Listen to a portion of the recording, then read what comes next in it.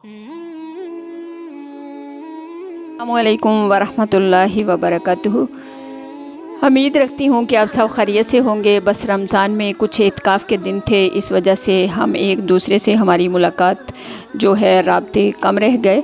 लेकिन आज मैं पर्दे के बारे में कुछ आपके सामने अर्ज़ करना चाह रही हूँ, क्योंकि पर्दा जो है, ये औरत की जीनत है। हया औरत की जीनत है। तो मेरी अज़ीज़ बहनों, बेटियों, एक दफ़ा का वाक़ है कि मेरी एक स्टूडेंट थी।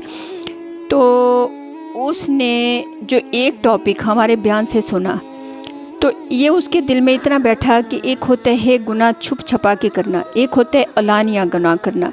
क्योंकि अलानिया जो गुनाह होता है, उसकी बख्शिश कहीं भी नहीं है।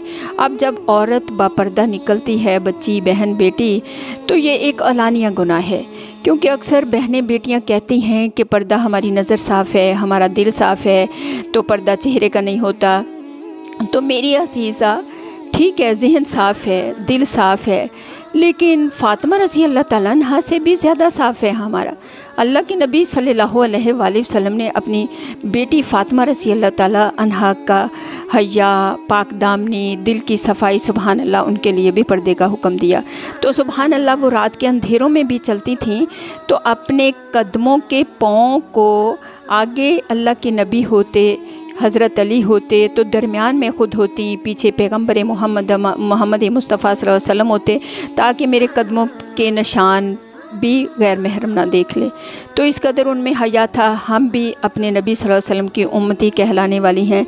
अल्लाह ताला हमें भी यह हया दे। तो दूसरी मसाल मेरी अज़ीज़ बहनों, बेटियों, ये है कि जैसे एक केले की मसाल ले लो। केले का छिलका तार के हम बाहर सीधा रख दें। तो मेरी अजीज़ा उस पर मक्खियाँ, इस किस्म की चीज़ें उसको घेर लेंगी। लेकिन अगर वो केला अपने छिलके के अंदर है तो वो कितना महफूज होगा, कितना साफ़ सुथरा होगा।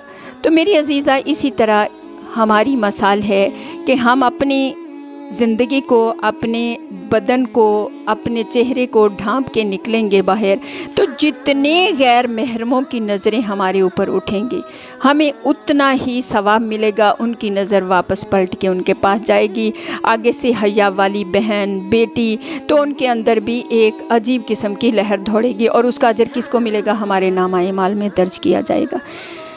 दूसरे नंबर पे अगर औरत बग़ैर पर्दे के निकलती है तो जितने ही गैर महरमों की नज़र उस पर उठती है, उन सब की नज़रों का गुना आपके मेरे नामा माल में दर्ज कर दिया जाएगा। आज हम घर की माएँ, आज हम घर के बड़े, क्योंकि कहते हैं कि एक औरत तीन को जहन्नम में लेके जाएगी। भाई, बाप, शोहर तो हमारे ही मर्दों ने हमें रोकना है और हम ही उनको जन्नत में ले जाने का अगर ज़रिया बन जाए, अल्लाह हमारे अंदर ऐसा शौक़ पैदा कर दे, क्योंकि अलानिया गनाह से बचें। ये अलानिया गना है, जब औरत बाहर निकलती है, चेहरे में चेहरा ढंपा हुआ नहीं होता, कहते हैं चेहरे का कोई पर्दा नहीं। भी चेहरा ही तो सबसे पहले मुतासर करता है दूसरे को। तो मेरी अज़ीज़ बहनों, बेटियों, मेरी आपसे दरख्वास्त है कि अगर हम हिजाब में निकलेंगे तो हमें रूहानी भी सकून। यहाँ तक कि ये फ़ैशन वैशन में हम वक़्त ज़ाया करते हैं, हमें इसकी भी ज़रूरत नहीं रहेगी। सादगी का एक अपना हुसन है, ऊपर हजाब हो, कपड़े हों।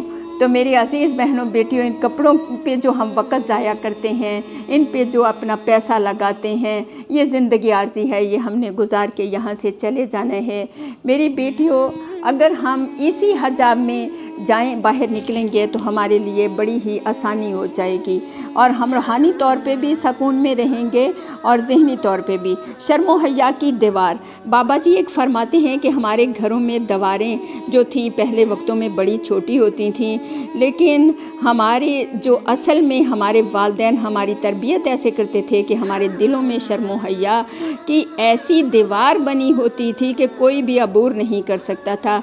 आज हम लोग घरों की दीवारें बड़ी हैं, लेकिन बहनें बेटियाँ बाहर निकलती हैं तो अपने आप को इस कदर लबास भी ऐसे होते हैं कि जिसम का एक एक आजू नज़र आ रहा होता है।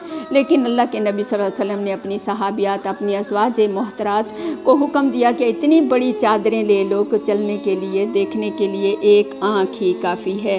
तो आज हम घरों की दीवारें भी बड़ी ऊँची कर चुके हैं, लेकिन अपनी औलादों के दिलों में शर्म निकाल चुके हैं। इसमें हम नाकाम है, अल्लाह ताला हमें कामयाबी की राहों पे चलने की तोफ़ी अता फ़रमाए, हया और पाक दामनी वाली ज़िंदगी नसीब फरमाए। जजाकुमुल्लाह खैर।